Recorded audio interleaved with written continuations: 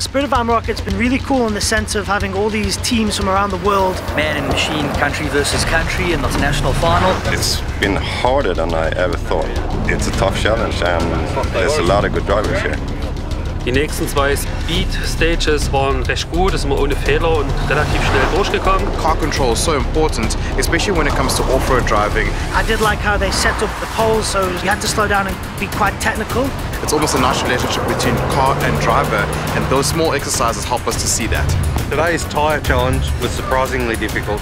You might think that changing a tyre is something that's quite simple, but you should see when these guys were getting involved in the whole process. They really, really wanted to win. This is a competition that's taken very seriously.